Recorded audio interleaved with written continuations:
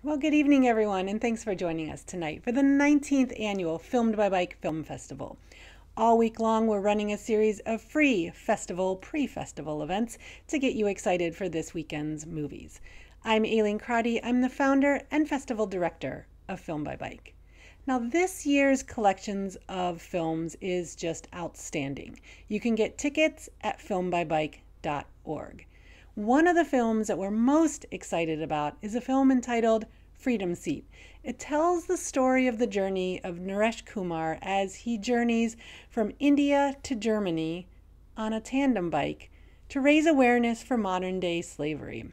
So tonight we're excited to have joining us on the program Naresh and the director Linus Herbig Matten to talk more about this incredible film. So thank you so much, Naresh and Linus. It's great to have you two here tonight to join us. Hey, I mean, thank you so much Hi. for having us. So good to be in the show. Thank you. Now, before we get started, I do want to acknowledge that Naresh, you're in India, and I know you're suffering from COVID. This cannot be an easy time for you. How are things going for you?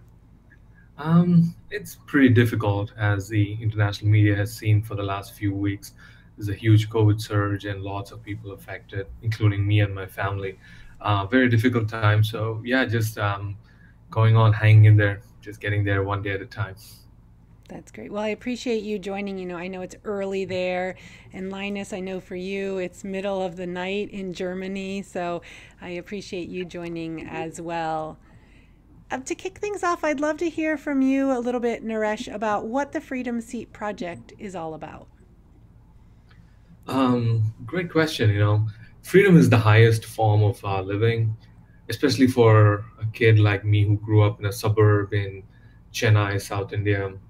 Uh, freedom is a huge word. Freedom to do whatever you want to do, go anywhere. But um, also at the same time, it's um, one of the most um, biggest atrocity being committed in the world as well. How a human cannot be free these days. Um, so yeah, I mean, uh, being my own um, uh, raising up in a place right? So poor and how freedom was a big thing. You know, if you think about um, law enforcement, right? If you commit a crime, what do you do? You know, no matter how big the fines are, they eventually lock you up. Of course, you get food, clothes, and shelter in the prison. But still, the one precious thing that taken away from you is your freedom. But when we think about it, there's like so many people in the world, like 40 million people, majority of them being women and children, who don't have that very freedom bonded in slavery of all kinds. So that became like a huge issue and a cause for me. And I just wanted to make it a part of uh, my life journey to live a life bigger than myself. So yeah, that's um, a product of how Freedom Seat happened. And how did the project come together? Where did you get started? Um, in the Alaskan mountains. I was at a friend's wedding, and um, I'm very curious in terms of like you know talking to people. So I was talking to my friend's uncle, and uh, he was talking about this nice project. It's called uh, Take a Seat. Uh, he would take his uh, tandem bike to a random uh, street corner, and then he would invite his local people to join him. So he would pick up the local milkman, grocery man, the oldest teacher living in the county, and he puts the camera and he just takes them for a spin and says, "Take a seat. Tell me who are you and what's their story." It sounded an amazing idea. Until then, I was running extreme long distance to raise funds and awareness, but I loved this idea. So I went back to Tennessee at that time and I saw this guy riding a tandem. I know what it is like to sit in the front, but not sit in the back as a stoker, they call it. So sitting in the back and Ayleen, it was terrifying, right? You give away your complete control. Right. All of a sudden, someone else is controlling the bike and I don't know, it was like the voila moment, you know, it was like the metaphor, uh, how it was fun, but also so difficult to let go of your freedom where you can't steer, where you can't hit the brakes. And that metaphor came to that human trafficking part as well, how you you don't want to lose that complete freedom.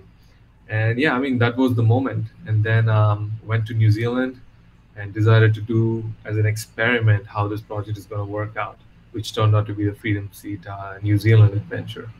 Wow, that's incredible. So tell us about the journey that you took that is profiled in the film Freedom Seat when you left India and rode that tandem bike all the way to Germany. The journey always starts with a lot of questions, right? I mean, uh, you're filled with so many doubts. Like I said, when I was going to New Zealand to do this, I even told my charity partner saying, I'm going to do something like this. I'm going to ride from top to bottom of uh, New Zealand, picking random strangers. And it's so funny you know the first reaction you get is like hysterical laughter. Not that they were being racist but they're like oh look at you homeless looking guy long hair and used to have like big beard. No one is going to join you on this adventure you know? We'll be glad if no one call the cops on you. We are scared anything is going to happen but then they're like you know you want to take a chance in humanity and just go out and you know see what's going to happen that's all you can do and that turned out to be an amazing adventure we ended up raising like over 200% than what we wanted to raise. Um, took me 33 days to bike across New Zealand, and you will not believe this. I didn't spend a dollar for accommodation, not intentionally, but every single day, the kindness and the love and respect from people were just insane.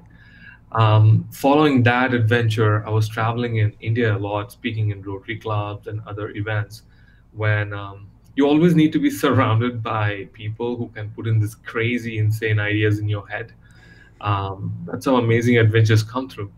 So I, I heard this guy, he's an old Rotarian guy. He said, Oh, we have a big mission going on in Germany where 40,000 delegates, uh, Rotarians from all over the world, are they going to join? So you should go on a big expedition. You should ride from India to Germany carrying the message end slavery now because uh, Rotary was uh, instrumental in stopping polio worldwide with the mission end polio now. And uh, yeah, that was just like an inception, you know, one dream, a seed that was put in this head by this um, amazing gentleman, and then Freedom Seat India started. Same thing, right? I mean, New Zealand was different because English-speaking country, you're riding across, you given you have an opportunity to explain your story in a language that people can understand, unlike India Germany, where crossing across 14 countries, India alone speaks like what millions of languages, and I spoke only three to get through. But um, the biggest lesson for India to Germany was language is never a barrier for human connection. and there's something really powerful. Um, we were talking to. A, some other folks pre-festival interviews and they were talking about the, the power of bicycle adventure in that somebody sees you and they immediately know you are on a journey because you are on a bicycle out there in the world and i can only imagine that must have just drawn people to you i've experienced that when i've been on bicycle journeys as well and the ability to connect with people is vastly different than any other form of travel because they see you, they see your gear, and they're just instantly so curious. Yeah, I think it's just that uh, that human-powered movement attracts uh, a lot of. Um, it, it just attracts you, you know, be it running or cycling or hiking. There's something about it when during you on that human movement, that inertia when it gets you uh, going. But also in my case, it's an amazing thing because a lot of uh, people stop because of curiosity. So when they see a fully loaded bike, which is attractive enough by itself, they want to know what happened to the passenger who's not sitting in the back seat. what happened to the girlfriend? Did she break up, or was that your friend who just left you right in the middle of an expedition? You're this poor soul who must have be, who must be riding his bicycle with a broken heart because the girl walked away. So I didn't even have to go and ask anyone to join me on this expedition. Um, most of the time, it'll be couples going in a car and they just want to pull over to ask, What's the story? Why is the seat empty? And then you just give them a very humble invitation. You know, you're like, I'll tell you all about it, but also you accept your vulnerability and your weakness. You're saying, I'm going 9,000 kilometers across four, two continents, and I'm really tired, but I'm doing this for a mission can i mean i don't need your time i don't need your money i just need a little bit of your physical energy. Can you just sit and paddle with me and join me in this mission? And you explain that. And you know seldom people deny they just like jump in the bike and they sit there they give the keys to the wife and then um, ride 10 kilometers 20 kilometers and the wife takes turn. And most of the day the ride would just end at their house and you end up staying at their house the rest of the day wow. so yeah you end up meeting like a lot of interesting people but anytime you see a blinker turned on in front of you or if someone is honking you know someone wants to ride with you it must be so interesting to be on a journey like that where you just you don't know where the day is going to go. You're following the whim of the people that you meet along the way. And that's so different than our daily lives that are structured and have these times we need to be places and accomplishments we're trying to achieve that are very rigid. Um, what was that like to just go with the flow of the folks that you met along the way and the experiences that you had day to day? Um, one word would be just magic. Yeah. It, it was like I was watching a Hollywood movie where every scene is unfolding and I'm the lead actor there and people come in and go. And every single time you think, this is it. This is the ultimate amazing experience I would ever experience in my whole life. And within five minutes, there will be something else waiting for you around the corner. And you're like, wait a second, this is not happening. No one is going to believe me if I tell these stories to anyone. But um, it was just fascinating. And that was the key also right? The uncertainty was the amazing magic portion of this entire trip. Um, i've never made plans to where i'm going to pitch a tent or where i'm going to sleep nothing. You don't know what's uh, ahead of you. So just take one day at a time uh, meet people. Of course i want i had a deadline to get to germany because i wanted to be there at the starting day of the conference. But at the same time i didn't want to dilute it by pushing way too fast I just wanted to enjoy people, meet them, and um, yeah, it was just a pure magical experience everywhere. Be it India, uh, getting into Oman and Iran and all the other countries. Um, also, my travel had some problems with the visas because of uh, uh, issues with India, Pakistan, and the visa difficulties that we go through. So the logistics was a challenge by itself, but people made the journey so beautiful. Well, it's certainly interesting to hear about the journey. It's a whole nother thing to experience it through the film Freedom Ride, which we will be debuting or showcasing at Filmed by Bike. The film Freedom Ride is showing in our Triumph program, which is coming up on Sunday, May 23rd at 6 p.m. You can get tickets at filmedbybike.org. So, Linus, I'm so curious to hear from you how you got connected up with Naresh and how this film came together. Um, oh, so Naresh and I met a couple of years back in New Zealand um, when we were hiking. Told me about um, this journey, how he ran around uh, across New Zealand in sandals, and uh, uh, as a filmmaker, I was intrigued, and we made the film "The Man in Sandals" together. And um, yeah, we just kept connected through all this time. And I, I knew about Freedom Seat New Zealand. I wasn't there at the time, so I wasn't be able to to document it in any way. If I would have been there, I, I would have made a movie of, out of that as well. Um, and then he told me about his next journey, which was going to be from from India to Germany. And as me being in Germany, I thought that's that's the perfect way to make the second movie with him. Um, and then it was just literally how to figure out how to make a movie without a budget that's highly depending on on the journey and um, on a trip that is easy to do with a bike and but it's not even that easy to just stick along in a car or any other way of transportation. So um, we were highly depending on Naresh getting as much footage as he can um, on the go and with his iPhone. And we had other um, filmmakers in India joining him um, on the way. And, and I was just there at the end, basically, to, to pick him up and, and get him to the finish line, basically. Mm-hmm. And what was that like along the way? Were you following along with where Naresh was and how things were going in the other areas, or was it just sort of a surprise when he came and you got a chance to see the footage that he had gathered along the way? I think we basically texted like nearly daily, maybe not daily, but very, very often. I got a, a huge load of iPhone footage pre-hand before we met up, for filming, and before he, he came to Europe Um, so I was I was very much in the loop of everything that was going on, because Naresh also did with another company in India, some sort of um, you know, like social media interest in, in the whole story, sharing stories and sharing videos. So we always kept kept in touch, and I had a lot of footage before we even before we even met. And at any point, were you one of the folks who jumped on the back of the tandem? Uh, again, excuse me, I didn't see. I were, didn't hear. Were you one of the people who jumped on the back of the ah. tandem at any point? Of course. Um, I mean, I, I didn't not you not like a, a, passenger, but just when you go from A to B, at some point, even when you're in a city, you just take the tandem because that's that's the way of transportation.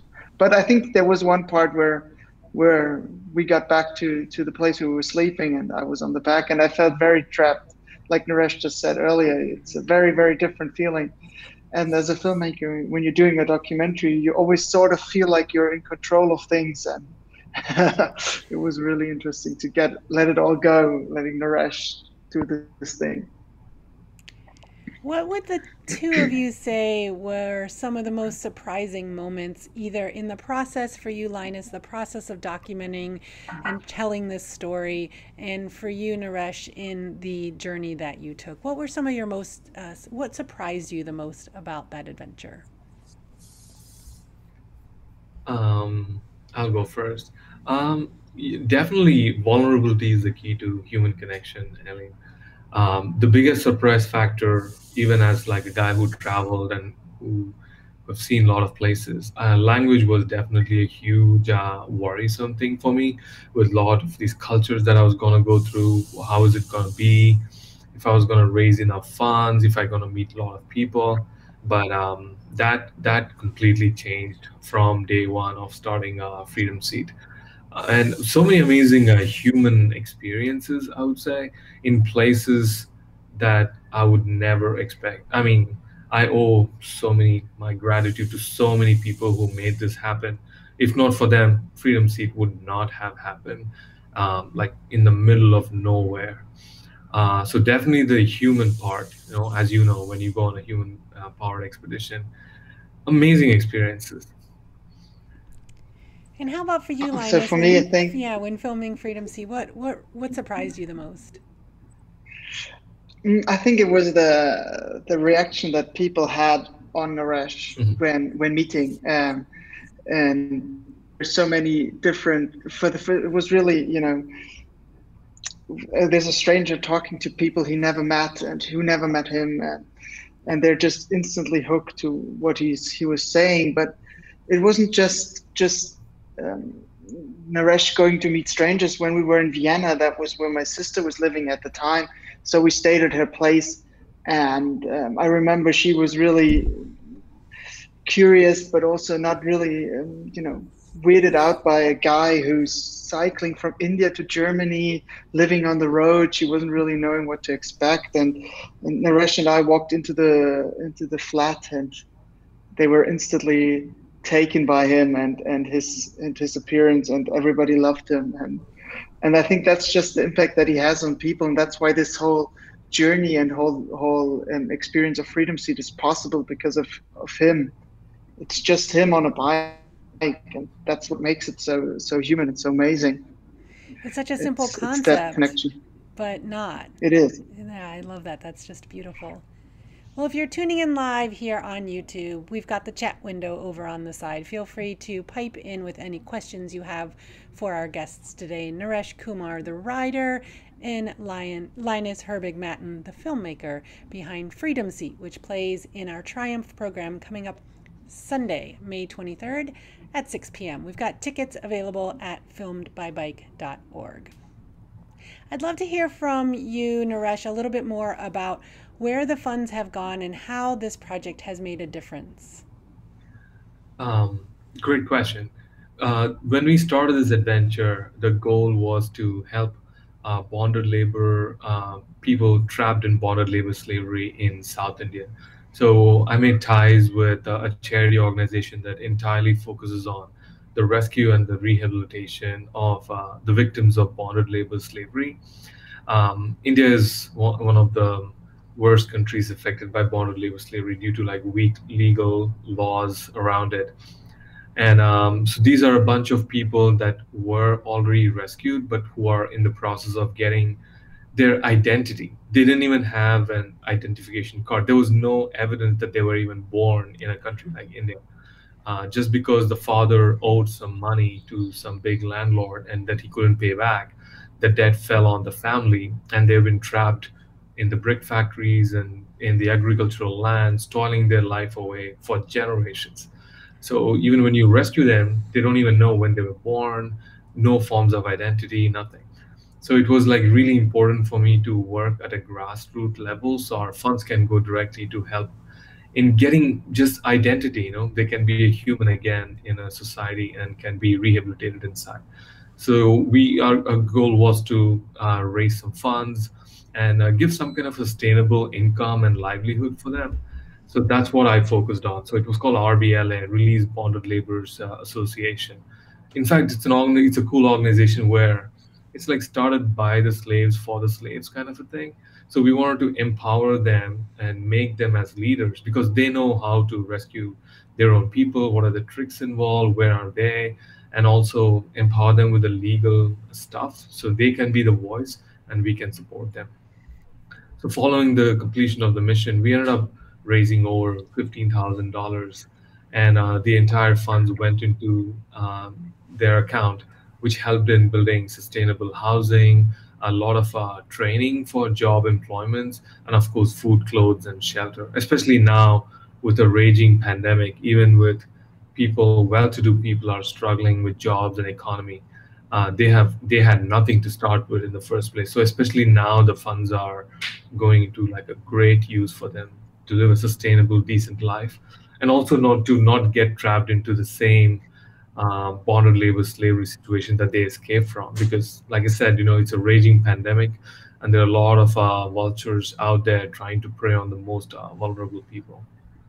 It's just tragic to think about that. It's already such a challenging time, and then for to have that predatory aspect as well. It's just atrocious. Right. So, Linus, for you as a filmmaker, is this the typical type of work that you work on, or tell us a little bit more about some of your previous work and where your passion lies as a filmmaker? Um, no, I actually come from the drama perspective. I've, I used to, I'm, I'm, I'm a writer, script writer. I do commercials as a director. And the only documentary work I've done is with Naresh, uh, honestly. So um, I feel like in, in the end, it's just about telling a story. And I think that the way to tell the stories that you have to tell when you meet Naresh, it's, it has to be a documentary because otherwise you wouldn't believe what, what this guy is doing and so that's that's the the way I chose to to portray that. But I'm doing it. I'm not usually a documentary filmmaker. So, where what is the status of the Freedom Seat project now? Um, where are you? Are you headed anywhere next? Do you have any plans for another adventure? Yeah, a lot. After definitely the success of uh, Freedom Seat India to Germany, um, had like so many freedom seats planned around the world. One was to uh, ride across uh, America in collaboration with uh, Rotary Club there. And uh, in fact, mm, April last year, I was going to dip my wheel in Huntington Beach and ride all the way to the White House. Wow. And Freedom Seat USA was in the planning. Uh, April 1st, 2020 was uh, my ride planned for. In fact, my tandem is sitting right now in Huntington Beach, California but um, you know, life just turned upside down. My flight was going to be on the 25th of March, and 23rd, India shut down the borders, and I got stuck here for eight months. And um, I'm still here. I got back, and I'm still stuck here. Um, but yeah, Freedom Seat USA and a couple more expeditions is definitely in the planning. But there's a big question mark hanging above the head, like as to when that is going to be. Yeah. So what do the two of you hope the viewers will take away from watching your film coming up on Sunday night? Oof. You want to go? Should I go first? Yes. Yeah. Yes. Um, I, I, really, I really, I really hope that they um, get a feeling of of of traveling with Naresh for a short moment, uh, just being being um, a part of this journey for 25 minutes. That's what I really hope the people can you know can experience and just um, know why he's doing this and getting in all these emotions that he's he's feeling on the journey. So just every audience is a little bit a part of the of the whole journey. That's what I hope for. And Naresh, how about for you? Um, I would say two things. Uh, one would be I know it's cliche, everyone throws around these days, but uh, the as much as I told about the power of vulnerability, the power of kindness is huge. Um, so it doesn't matter. I know we are all going through some tough times, but being kind to one another, even in the, the smallest acts of kindness, goes like a long, long way, which you will see in the film. Uh, one experience was my experience in Turkey, where I was stuck in the middle of nowhere with no hopes. You know, I mean, I don't know what would have happened to me if that old gentleman would not have come and helped, but no language, nothing. He just took me home. I was covered in mud and dirt and sweat and tears. No one was gonna even say hello to me, but the tiny hut. He made my bed and like you know he. I, I felt like I was in a vacation at my grandpa's place listening to all the snowstorms outside. I was like, I should be out there right now. Yet here I am, tummy full of like Turkish tea and good food, like nicely, you know, snuggled up. The only thing he didn't do was kiss me in my, you know, for for my forehead and say good night. Woke me up in the morning, and the next day he rode the bike with me because it's a village. I didn't know where I was following him that night before, and he was just standing there waving his hand until I disappeared from his eyes. Every time I would turn back, he was just standing there I don't know, it just makes you think, you know, what kind of kindness is this? Why would you do something like this? Especially now in a society where you do something to someone expecting something back, but there are so many awesome people out there. Like 140 people helped me on this adventure. And um, I can go on with so many kindness stories. And that's when it makes you and changes you as a person. It could be as small as a, small, a simple smile at some grocery guy and say, How you doing? or offering a cold bottle of water to someone it goes a long way so especially now empathy and kindness is so important to be there and help each other to get through this really bad phase of life and the other thing i would like to focus on is the charity aspect uh, it doesn't have to be anything like you know human trafficking or anything but i think we are all empowered and capable of doing something for the other person. So whatever your cause is whatever wherever your heart is um, reading is important research is important but the most important thing is doing it that'll have an impact in the tiniest possible way in some human's life that can change them completely. So um, i would say like you know take up a cause or if you really want to join hands with me, go to Freedom Seat and uh, we can really be partners. And hopefully, some of the viewers one day can ride the bike with me across America. Um, in fact, my bike's name is Kindness, and I call this journey a journey on kindness, and it's also fueled by kindness and lots of peanut butter. so, yeah, people can jump on the bike kindness with me, and we can ride kindness together. That's so great. Well, Naresh and Linus, thank you so much for joining us here tonight. I can't wait to share your film with our global audience coming up this Sunday. Again, that's May 23rd at 6 p.m. Pacific time. You can get tickets at filmbybike.org. I really appreciate the two of you joining us early in the middle of the night, Linus. And you, Naresh, I know you're suffering from COVID, so we're wishing you, we're, we're thinking of you and wishing you all the best. Thank you. Thank, Thank you, you so much for having us it's a real honor to be, you know, made the official selection in your very prestigious film festival. Thank you so much. Thank really you appreciate being, it. Yeah, thank you. So tonight we've been speaking with Naresh Kumar and Linus Herbig Matten of the film Freedom Seat. I recommend following along with the three, what the two of them are doing on Instagram. You can find Freedom Seat as well as Naresh's Instagram and Linus's Instagram as well. It's a great opportunity to follow along with the Freedom Seat project. Now, stay tuned all week long. We have other interviews coming up. You can always watch these live or later. So use that link up above and share that with a friend. And make sure you like and subscribe down below so you can find out more about what we have going on at the festival. We look forward to seeing you all this weekend For the 19th annual Filmed by Bike Film Festival, we're kicking things off on Thursday with a happy hour where we will be talking a little bit more about the behind the scenes process of how these incredible films were chosen. So we hope to see you there. Thanks so much.